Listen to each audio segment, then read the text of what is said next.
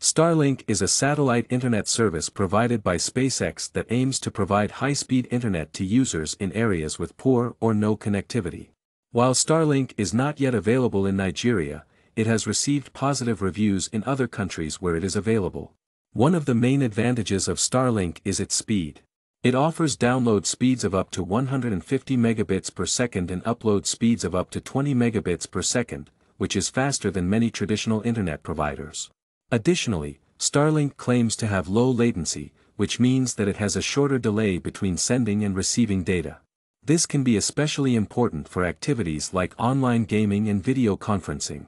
Another advantage of Starlink is its reliability. Since it uses satellite technology, it can provide internet access to remote areas that are not served by traditional internet providers. This can be especially important for online gaming and video conferencing. Another advantage of Starlink is its reliability.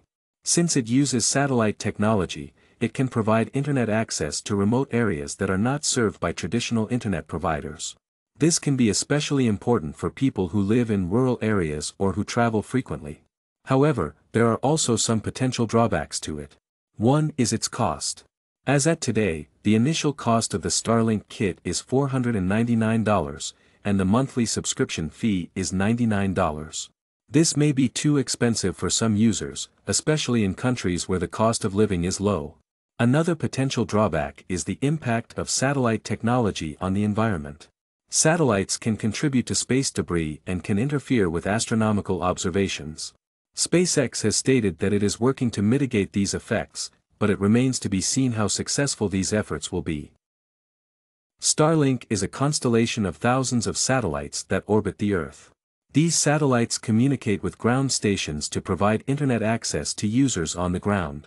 Currently, Starlink is available in select countries, including the United States, Canada, Australia, New Zealand, and several countries in Europe. In order to use Starlink, users need to purchase a kit that includes a satellite dish, a Wi-Fi router, and other necessary equipment. The cost of the kit is $499, and the monthly subscription fee is $99. In addition to providing internet access to individuals and households, Starlink also has the potential to be used by businesses, schools, and other organizations that require high-speed internet. In addition to providing internet access to individuals and households, Starlink also has the potential to be used by businesses, schools, and other organizations that require high-speed internet. One of the key advantages of Starlink is its low latency, which means that it has a shorter delay between sending and receiving data. This can be especially important for activities like online gaming and video conferencing, which require real-time communication. Another advantage of Starlink is its speed.